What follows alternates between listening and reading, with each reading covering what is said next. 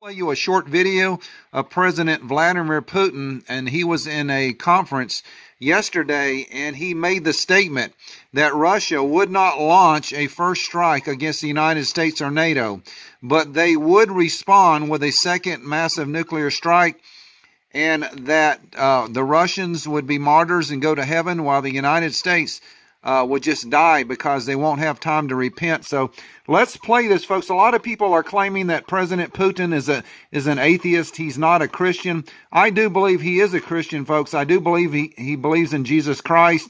He is only trying to protect his country and his national security. We are the aggressors here, and he is publicly stating yesterday that Russia will not launch a first nuclear strike on NATO or the United States, but they will respond with a second nuclear strike. So let's go ahead and watch this. This is uh, has subtitles, so you're going to have to read the subtitles. We le- will leave this video in the description box. So let's go ahead and uh, and watch this real quick.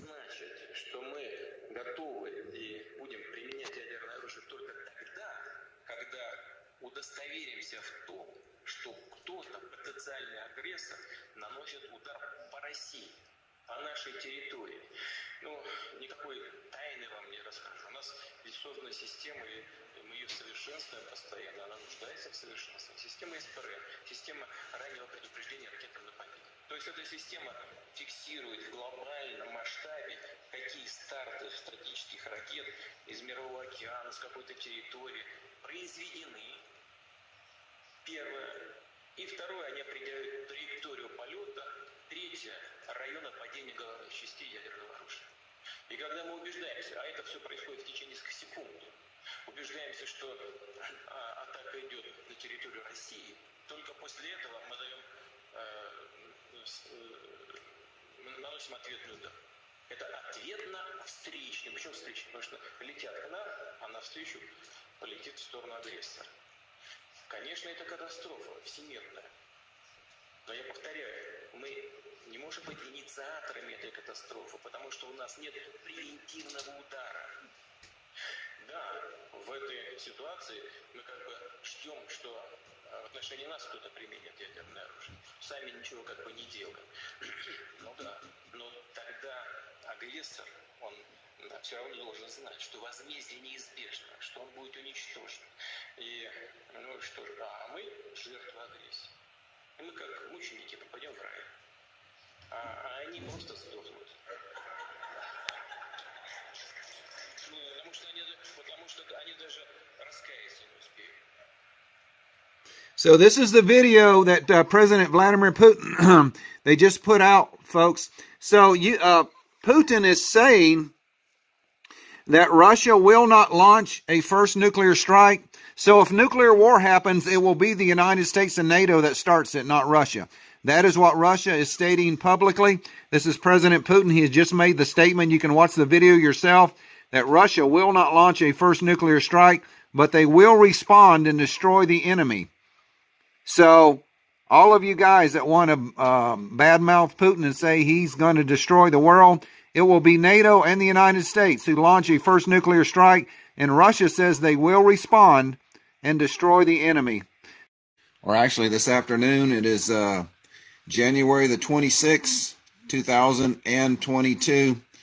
Uh, we do have a lot of new breaking news for you guys, and it doesn't look like it's too good. But we can always uh, hope for peace, folks, in the midst of uh, war preparations. A lot of things have been going on.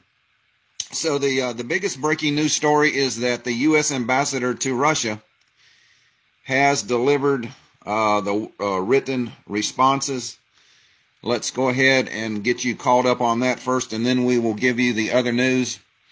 Uh, if this is your first time here to our broadcast, please hit the notification bell and the subscribe button, and hopefully YouTube will notify you of our upcoming broadcast.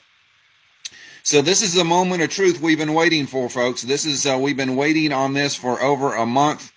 The United States has finally delivered to Russia the written responses for Russia's request to work out a peace treaty to negotiate this to de escalate the situation. And unfortunately, early word has come in that the answer is no. Uh, so this is coming in from RT Television. Russia receives the U.S. response to security proposals. Envoy delivers American and NATO reactions to the Russian offer. My dream today is um, January 4th, and I dreamt that I was, of course, in America, and all these people have their stuff packed, and um, told everybody they needed to move towards the north where it was safe. Um, but a lot of people wanted to go south, and I said, You can't, you've got to go north. Well, as they were going south, I seen that America was under fire. I'm talking about the whole United States, all the way around it.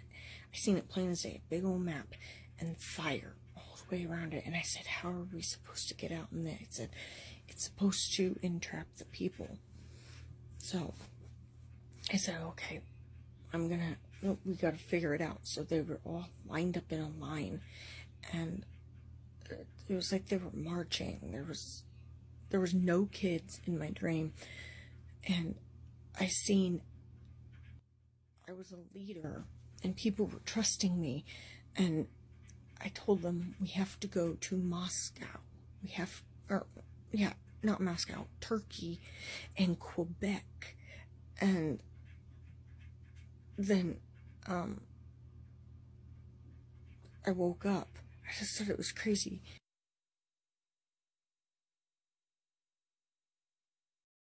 Dreams.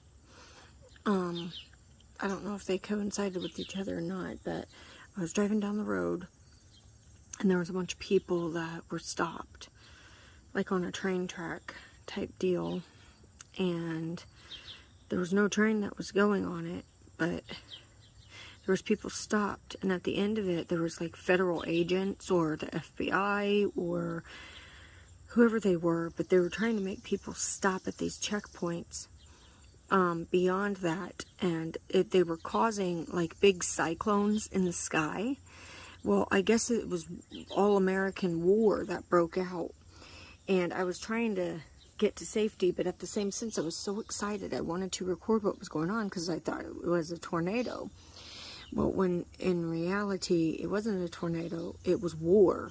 It was nuclear war, an atomic bomb, and they shot across the sky like this. And then um, afterwards, um, everybody, like my family, my kids, all them, they was in this building, and I had to try and make it back to them but I, I was not able to be seen. Otherwise, I'd get in trouble and I'd be drafted into this war thing. I didn't want no part of it. So I had to turn around and try and seek safety. And it was almost as if I was on a broadcast. Um, so, yeah. Um, okay, and like I said, this dream was just, it was just crazy because I kept thinking it was a tornado that was touching the ground, and it wasn't. It was cyclones, literally because of the, the missiles and stuff.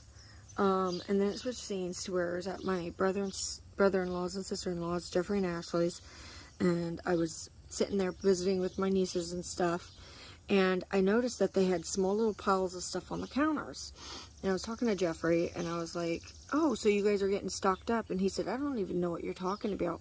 So I'm sitting there talking about the financial collapse and food deprivation and things that's about to happen, and he was just like, oh, I don't know nothing about that. You'd have to talk to Ashley. Well, then I was trying to, I don't know what the heck I was trying to do, but I needed a Ziploc bag. And I asked if I could get my nieces one weekend so that we could do some art stuff. And Ashley's like, yeah, the Ziploc bags are um, in the basement, the smaller ones. So I was like, oh, okay.